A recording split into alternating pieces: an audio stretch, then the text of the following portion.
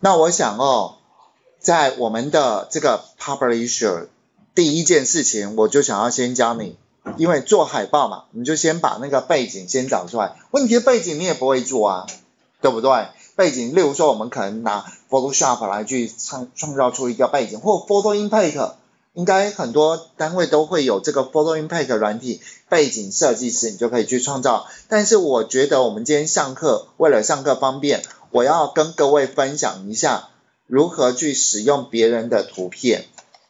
首先哦，首先如果说我今天我要抓背景图，那我是不是就直接在这边输入背景？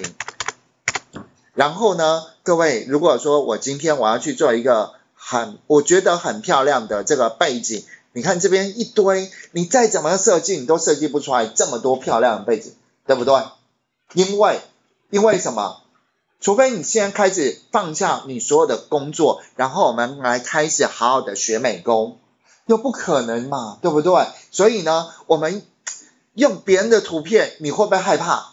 当然会啊，不可以用别人图片，所以我一定要请你们稍微注意一下这个地方工具，这个地方工具，然后这边是不是有使用权限？他说不限使用权，标示为允许再利用且可修改，标示为允许再利用，标示为允许以非商业用途再利用且可修改，标示为允许以非商业用途。再利用，请问一下，这里面是不是有好多种？您看得懂吗？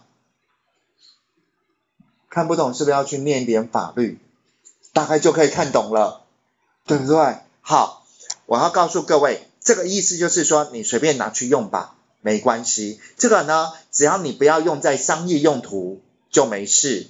这个建议不要用，为什么？因为它还没设而已，它还没设。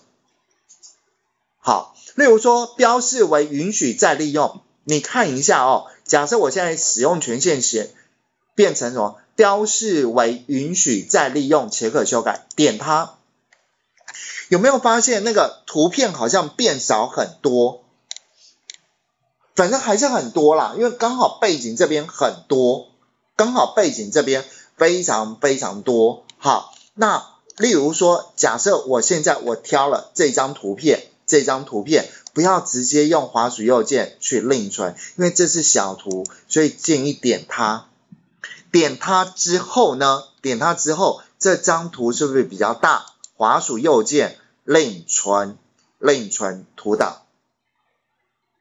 你千万千万注意哦，另存图档。假设我们现在存，建议就是存在我们自己刚刚低磁碟机底下建立的这个 publisher，然后。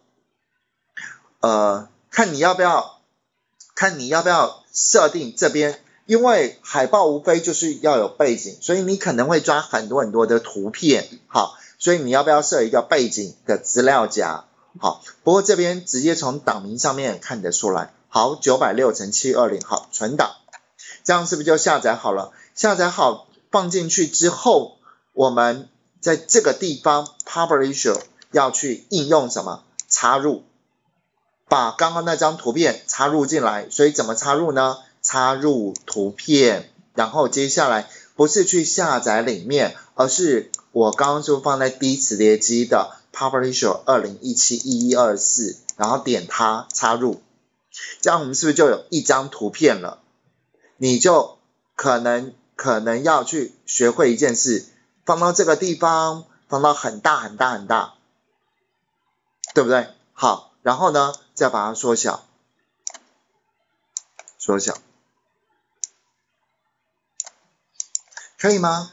大概知道我现在在做什么事情哦。当然，这里面还有很多很多的需要知道的事情，所以稍后晚一点我们再来谈。我只是要告诉你，不要去下载到那种可能将来他会来告你的图片，可以了解哦。刚刚这里面。这里面如果啦，如果我点选这边标示为允许再利用嘛，标示为允许。可是如果我点选这个标示为允许以非商业用途，啊也会出现这一张，也会出现这一张。可是假设我今天不设使用权。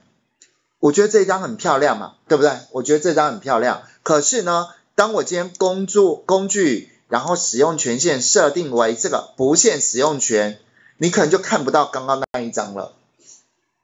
是什么原因呢？是因为说像那一种还没有标示的，暂时我真的曾经建议你不要用。还有，我们今天是为了公务使用的话，它当然不是商业用途，这是绝对可以可以明显的区分。但是很多很多人会下载到这个不限使用权，是因为预设就是不限使用权，因为 Google 公司是以最多的图片来去呈现为目的嘛。